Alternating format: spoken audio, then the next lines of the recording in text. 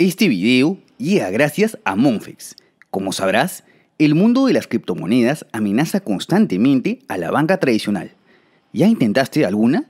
Pues te traigo una excelente opción. Monfex es una plataforma de inversión disponible ya en varios países, que cuenta con más de 200 instrumentos que incluyen el comercio con criptomonedas, pares de divisas, varios índices y valores.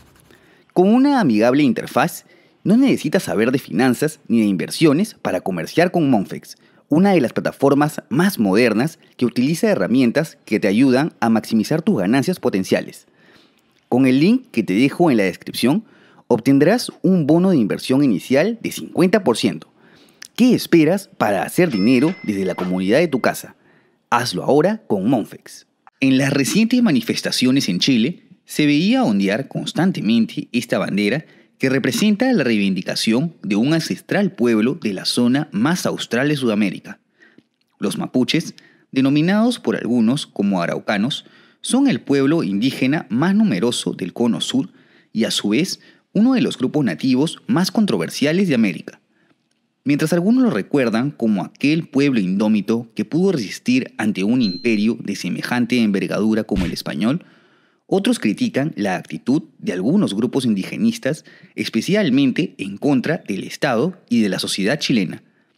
¿Quiénes son los mapuches y por qué están siempre en el ojo de la tormenta? ¿Te interesa? Dale. Entonces quédate hasta el final del video, pero antes no te olvides de suscribirte al canal Créeme que me ayudarías muchísimo.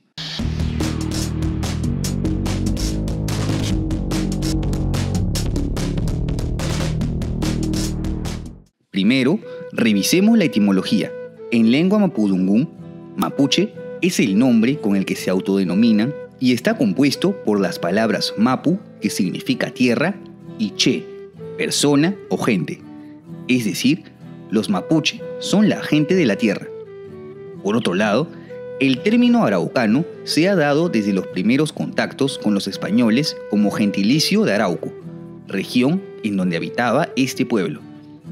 En contraposición a los mapuche, quienes no usan el plural para autodenominarse, los extranjeros arribados desde Europa y sus descendientes son llamados Winca. Otra forma de referirse a este pueblo es con la denominación de Reche, que significaría gente verdadera. El origen de los mapuche no se conoce con mucha certeza. Existen diversas hipótesis, siendo tres las más conocidas. El etnólogo Ricardo Lacham propone que los mapuches se habrían originado en la Pampa Argentina, para luego adentrarse en el actual territorio chileno a través de los pasos andinos. El historiador Tomás Guevara, por su parte, planteó un desplazamiento desde el norte, en donde habrían convivido con la cultura tiahuanaco. Finalmente, el arqueólogo Osvaldo Menguin postula que los mapuche serían de origen amazónico y que emigraron pasando por el centro de Argentina y cruzando los Andes.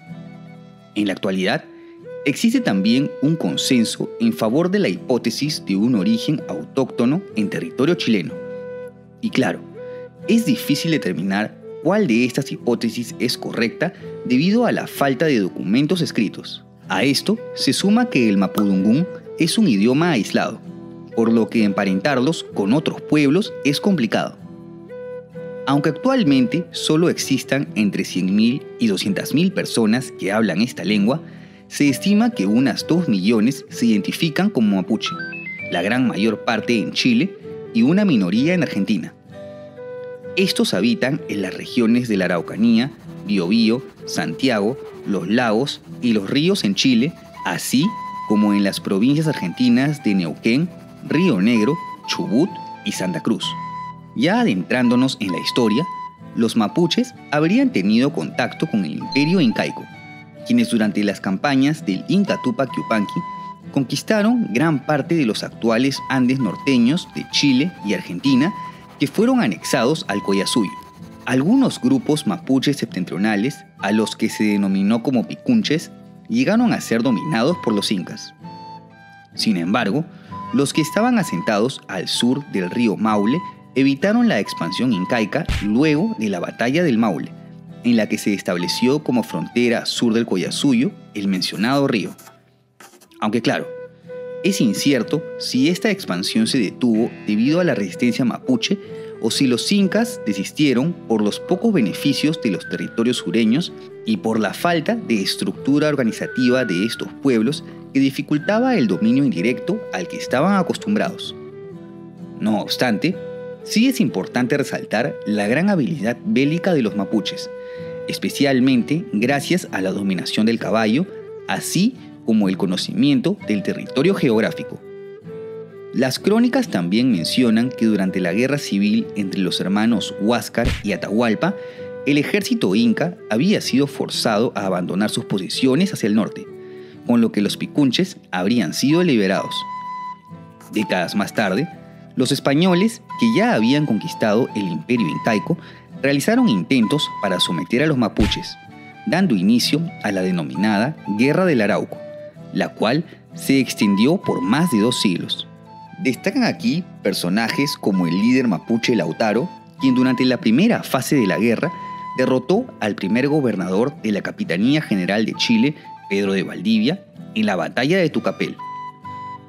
La guerra llegó a su fin con el Parlamento de Negrete en 1772, en donde se establece la frontera de Chile en el río Biobío. Por tal motivo, los mapuche se consideran junto a los bribri de Costa Rica el único pueblo indígena que pudo resistir a la conquista de una potencia europea.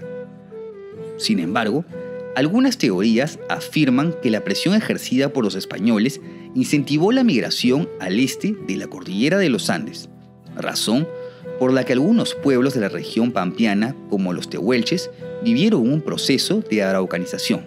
Esa independencia duraría solo un poco más de un siglo. Ya durante la era republicana de Chile y Argentina, se dan las denominadas ocupación de la Araucanía y conquista del desierto, de la que puedes ver más a detalle en este video. Estas campañas significaron la muerte de miles de personas y la pérdida de territorios, siendo los mapuches desplazados hacia terrenos menos extensos denominados como reducciones. Ya en los siglos XX y XXI, los mapuche han vivido un proceso de aculturación a las sociedades de ambos países, al punto que su idioma ha quedado ampliamente reducido. Hasta el día de hoy existen manifestaciones de resistencia cultural y conflictos por la propiedad de la tierra. Este aspecto se encuentra enmarcado dentro de lo que se conoce como el conflicto mapuche. Este se intensifica con privatizaciones de las tierras en la zona de conflicto tales como la construcción de la represa Ralco en la ciudad de Biobío o la llegada del grupo Benetton, quien compró más de 800.000 hectáreas en las provincias argentinas de Neuquén, Río Negro, Chubut y Santa Cruz. Muchas comunidades mapuches, por su parte, han realizado reclamos por vías pacíficas. No obstante, hay otras facciones más radicales que han realizado actos de violencia con intimidación, en los últimos años, se han dado ataques a empresas forestales y sus vehículos de trabajo en las regiones chilenas de Biobío, Araucanía y Los Ríos. Uno de los casos más emblemáticos de violencia es el de Lujicer Macay, en donde el machi Celestino Córdoba fue acusado de provocar un incendio intencionado en donde murieron dos agricultores en la comuna de Vilcún. El movimiento indigenista mapuche también ha recibido acciones violentas, hecho plasmado en el asesinato de manifestantes como Matías Catrileo y Alex Lemo. Con respecto a la esencia del pueblo mapuche, más allá del idioma y la historia en común, este pueblo cuenta con una cosmovisión única que sigue perdurando hasta la actualidad. Los mapuche consideran al territorio que habitaron históricamente como Hualmapu, que se extiende desde el río Limarí por el norte hacia el archipiélago de Chiloé por el sur. La representación de la Tierra y sus cuatro puntos cardinales se denomina Meli Huitrán Mapu, siendo el punto principal de referencia el este desde donde nace el Sol. Hualmapu se divide a su vez en Puel Mapu, el oriente, que corresponde a la actual parte de Argentina, el Pucún Mapu, la zona norte entre los ríos Limarí y Biobío, el Lafken Mapu, que refiere al área occidental costera del Pacífico habitada por los lafkenches, y Willimapu, la zona más meridional que corresponde a las actuales regiones de los ríos y los lagos y en donde habitan los huiliches. En cuanto a sus creencias ancestrales, no son totalmente homogéneas y sus leyendas y mitos fueron transmitidos oralmente. La cosmovisión mapuche tiene una fuerte conexión con la naturaleza, la que es descrita como ñuque mapu, lo que implica una relación de reciprocidad que existe entre el ser mapuche y la tierra. Las deidades adoradas por los mapuche están basadas en seres espirituales denominados Ngen, siendo el más conocido Genechen, considerado como el ser supremo en la religión mapuche. El fin del ser humano como tal es el de recorrer un camino que le permita conquistar el conocimiento en sus cuatro formas, creatividad, imaginación, intuición y comprensión.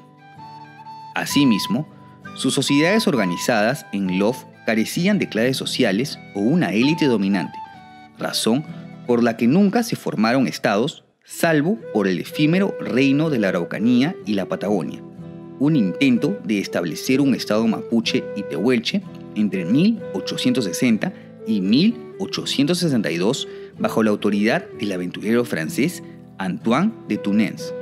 Esta conexión con la naturaleza aleja completamente a los mapuche con los ideales occidentales de organización de un Estado y acumulación de riquezas. Todo lo anterior explica la indignación con las actividades económicas en los ecosistemas. Todo un verdadero conflicto que enfrenta el desarrollo de Chile y Argentina con la esencia y autodeterminación del pueblo mapuche. ¿Te parece que este pueblo merece un mayor reconocimiento y reivindicación? ¿O te parece que deberían integrarse a sus respectivos países? No te olvides de dejar tu comentario y si te ha gustado este video, apóyame con un like y suscríbete a mi canal. También puedes seguirme en mis redes y si te interesa apoyar este proyecto, cualquier donación en Patreon en donde podremos hablar de historia será bienvenida. Además, puedes encontrar contenido exclusivo en mi plataforma elmapadesebas.tv. Hasta la próxima.